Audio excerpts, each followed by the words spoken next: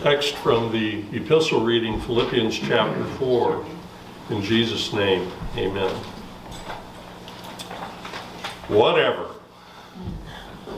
That's a slang term meaning, well, whatever you say, or I don't care what you say.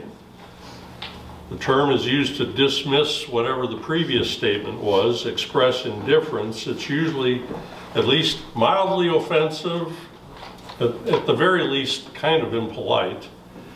In the late 20th century and early 21st century, uh, that would be like the last 30 years, I guess, the word has become a sentence in its own right.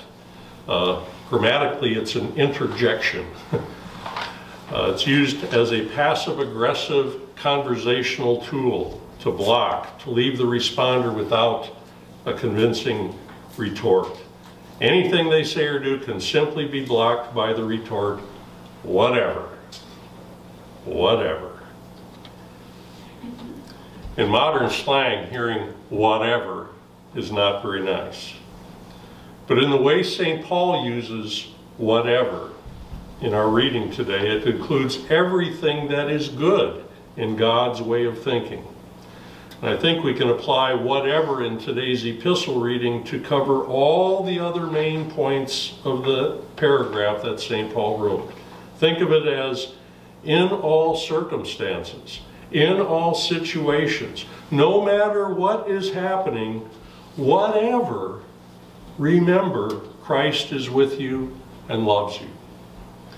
We start with rejoice. Rejoice in the Lord always.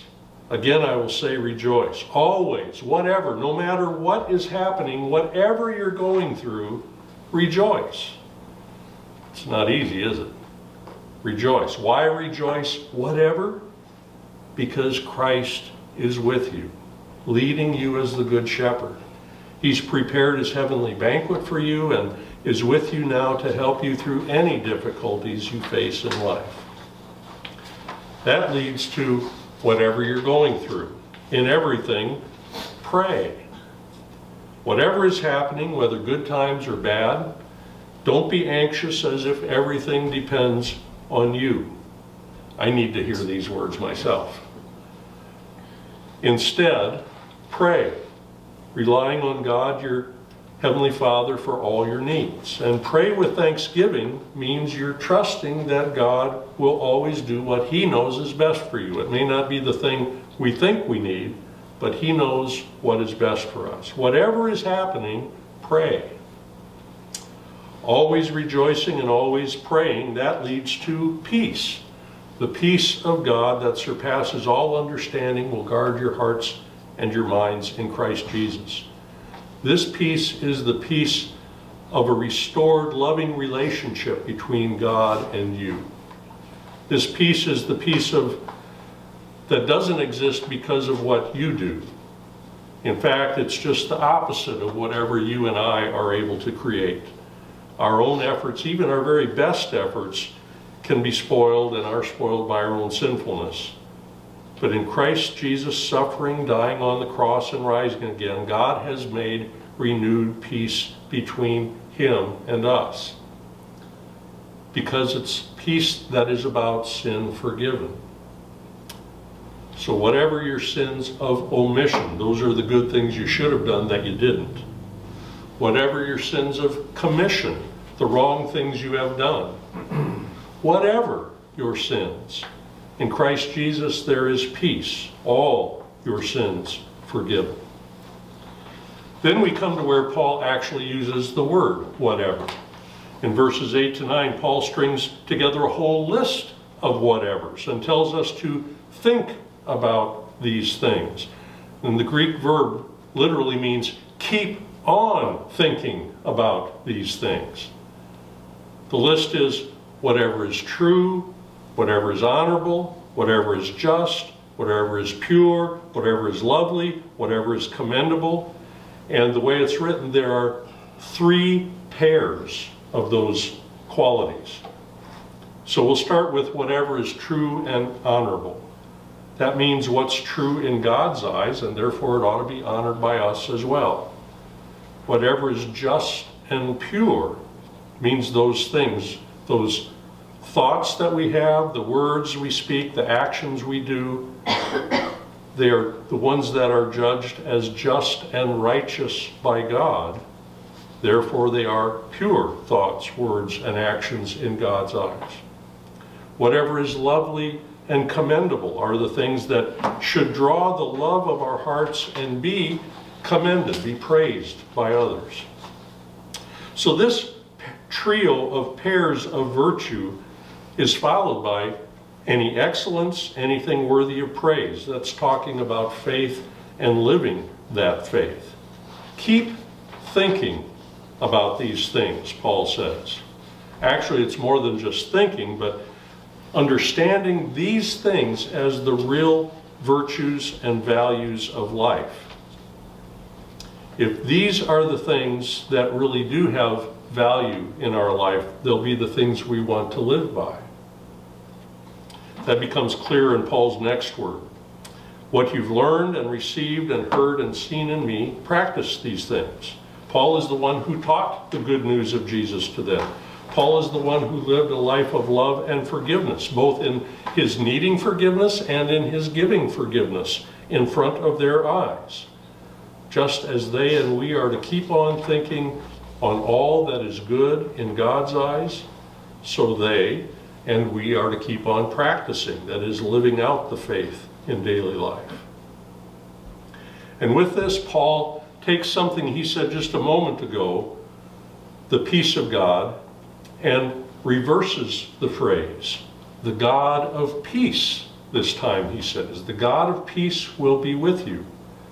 Peace is with you because God himself is with you. That relationship restored because of the forgiveness Jesus gives us. What a wonderful promise that God of peace will be with us. A few weeks ago, when we started this series in Philippians, we were reminded that Paul was writing from prison in Rome. That comes into the picture again here today in verses 10 to 13. We can put it in terms of whatever happens, show Christian concern for others. Paul is thankful that they, the Philippian church, have showed their Christian concern by sending support for him, probably to help some way with his financial needs or his daily living needs. Maybe they sent a food package, I don't know. Probably not, because it was pretty far, so they'd probably send funds to help him. They had not been able to do it earlier. We learn elsewhere in the New Testament that hard times affected these people in Macedonia, where Philippi is located. We also know that even when they had hard times, they had gathered offerings from what little they had to send to their Christian brothers and sisters in Jerusalem who were affected by famine and even persecution, cut off from their families when they became believers in Jesus. Now they've also been able to show their help for Paul, this congregation in Philippi. Paul is less focused on their gift than on their motivation. Their Christian concern always existed, but now they've been able to follow through on it. Whatever our life circumstances, there are always opportunities to show Christian concern for those in greater need than ourselves. And Christ's love for us will motivate us to help those in need. Paul uses the word again. I've learned in whatever situation I am to be content.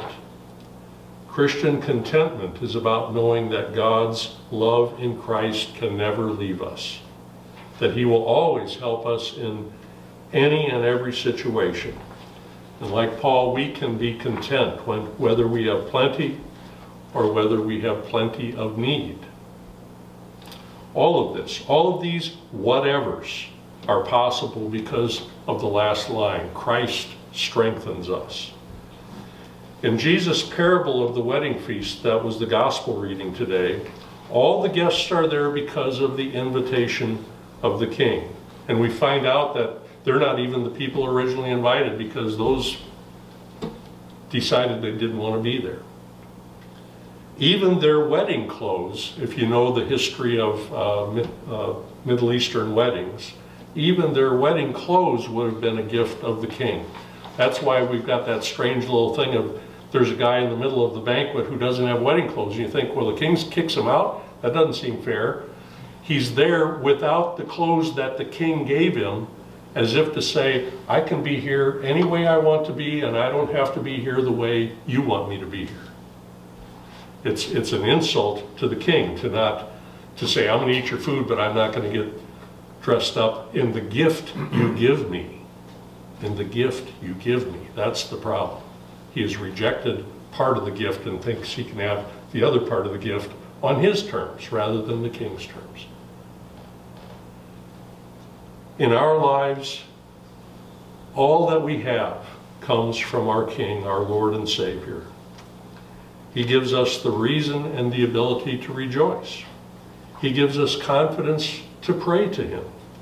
He gives us forgiveness that brings peace. He teaches us what is true and honorable, just and pure, lovely, commendable, excellent, and praiseworthy. He teaches us all these things in His holy word. His Holy Spirit gives us the gift of faith and helps us live in it. He enables us to love others in Christian concern. He helps us to be content in whatever circumstance, and He strengthens us day by day with His love and forgiveness.